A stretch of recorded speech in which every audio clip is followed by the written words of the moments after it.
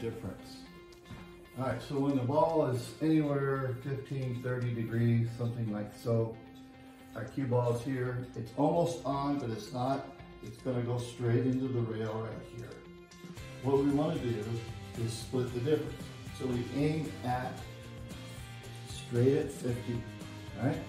So the edge is zero, center is 50, the other edge is 100. What we want to do is start at 50, split the difference, which is three quarters. All right, so we aim at 50, then we split and shoot at 75. Let's do it again.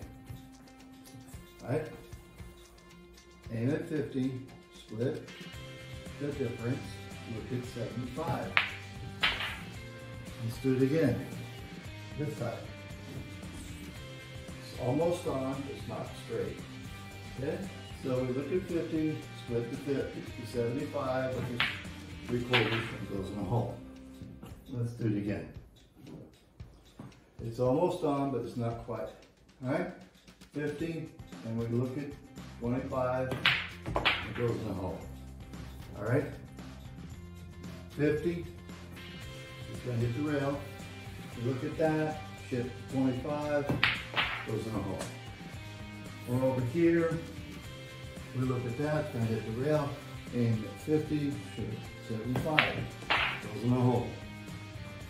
Let's do it straight in, straight. Okay, we look at, almost in, and we shift 25, and it's there. That's splitting the difference.